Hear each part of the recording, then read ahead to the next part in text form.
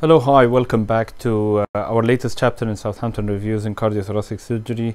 In this chapter, we'll be discussing cardiopulmonary bypass. Um, supervisors for this chapter are Mr. Sunil Ohri, our other cardiac surgery consultant and lead for education, Mr. Zami Miskolczi, our other cardiac surgery consultant, as well as Mr. John Bull, our lead perfusionist.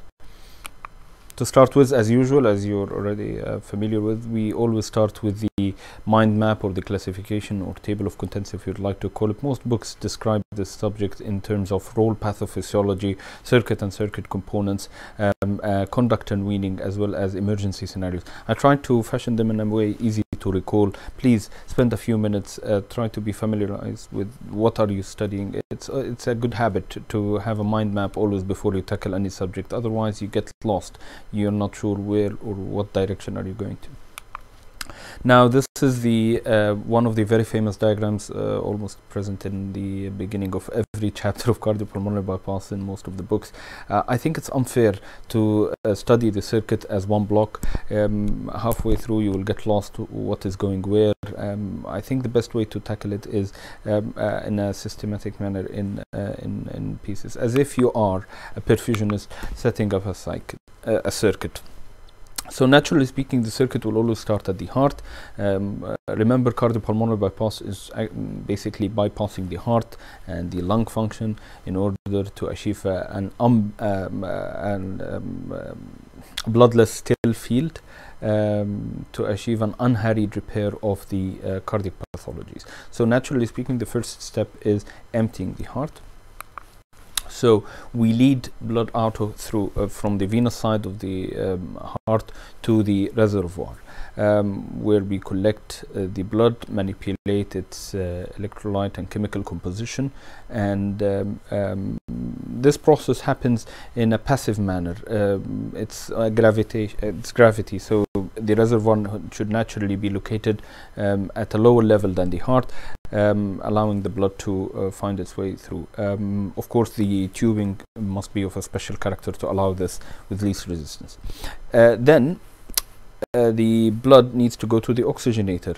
Although the oxygenator on all, um, almost all commercial uh, brands is uh, uh attached or uh, in the same frame as the reservoir, however, if you check clearly, it's separate, it's disconnected. They are not in continuity. The blood needs a, a driving force. From this point on, uh, it's all about pumps and driving forces. Um, gravity only to lead blood out of the heart. However, from this point on, it, there must be a pump driving the blood. So the first pump we'll come across here is the main head pump or the systemic blood pump, which drives the blood from the reservoir to the oxygenator. As I said, they are not in continuity.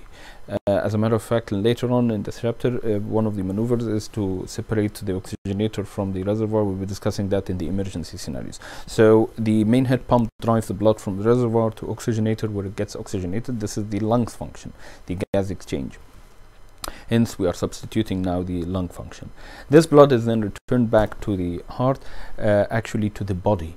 It returns back to the first point of systemic circulation, which is in this situation, in this diagram, the ascending aorta, excluding one branch of the aorta, which is the coronary arteries. So the blood oxygenated, the good, nice systemic blood will return back to the body. However, the heart will receive, will be ischemic the, um, um, by putting the cross clamp. And we discuss that in details in the myocardial protection section. This is the first part of the circuit. The second part is the cardioplegia.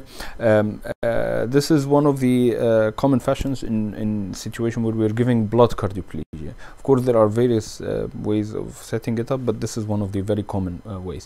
Um, in, in a situation where you're giving blood cardioplegia, so you lead blood from the uh, oxygenator to the cardioplegia uh, circuit, pump, sorry, and um, Uh, cardioplegic solution provides the, uh, the cardioplegia part of it in a 4 to 1 fashion. This is achieved by the fact that the tube size um, um, difference between the um, the blood to cardioplegia is 4 to 1. So the tube leading blood into the uh, pump is four times bigger than the tube uh, leading cardioplegic solution. Hence, every revolution will give you four parts of blood to one part of cardioplegia. This is obviously before returning back to the heart is manipulated in terms of pressure and temperature and then returns back to the aorta aortic root. This is the type of blood which goes to the heart. So the body gets uh, the body gets the systemic, nice, good oxygenated blood, hypokalemic or normokalemic, and the blood gets the uh, the heart sorry gets the uh, um, blood uh, rich, enriched with cardioplegia, and that goes to the aortic root, and both compartments are separated by the cross clamp. This is the second uh, part of the circuit. Next is uh, the uh, um, vents and suckers. Uh, both vents and suckers uh, uh, withdraw blood from the field or from the heart back to the reservoir. But what's the difference between both? The difference of function.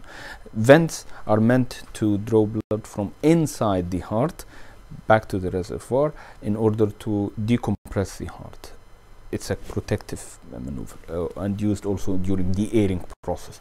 However, the suckers are meant to drive blood from the surgical field um, uh, to the um, to the reservoir in a function of uh, protecting uh, the patient from blood loss and also achieving um, a, a visu good visualization. But both of them essentially draw blood from the surgical field back to the pump. Finally, the fourth and last uh, part of the circuit is the modulation part of the uh, uh, oxygenator. Uh, this is includes the heater cooler machine, which rewarms and um, creates a hypothermic effect, as well as the oxygen and air supply, gas supply along with a few filters. Uh, it is important here to note that the positions and sequence of uh, um, parts of this circuit is extremely crucial. Uh, for instance, the the reservoir needs to be at a lower level than the heart. We already mentioned that. Otherwise, you will not receive venous return. For instance, also the oxygenator and the heater cooler or the heat exchanger um, uh, needs to be in uh, the heat exchanger must always be upstream to the oxygenator you warm or cool or you heat the blood before it gets fully saturated with oxygen why is that Boyle's law simply because if you warm blood um, saturated with oxygen you are more likely to create microbubbles and extract uh, oxygen bubbles out uh, gas out of the blood and create microemboli. Hence the heat exchanger is always upstream. It you heat desaturated blood not saturated blood. Uh, another point of importance in the hierarchy of this uh, circuit is for instance the position and direction of the vents. Uh, it's not unheard of wrong alignment or wrong connection of the vents can kill a patient simply because the vent is meant to draw blood from the surgical field to the reservoir. Remember, the top part of the reservoir is air.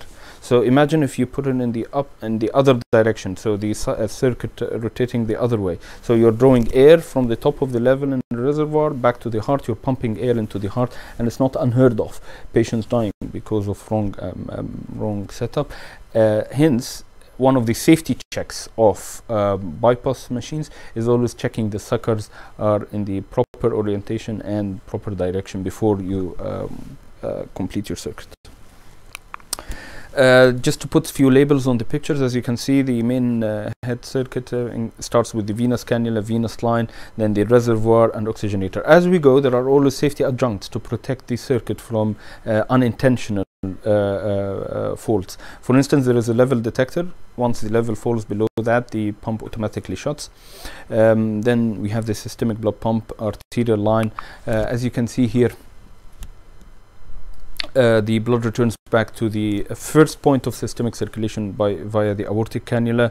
In this situation, it's the ascending aorta. Then we have the cardioplegia circuit. As you can see here, the cardioplegic solution is uh, uh um, is hanged on top of the uh, heart-lung machine, giving a four to one ratio, um, manipulated in terms of pressure and temperature, then returning back to the aortic root, the proximal part of the cross clamp via the root cannula again safety adjuncts here arterial line uh, filter and bubble trap vents sucker heater cooler machine gas and air.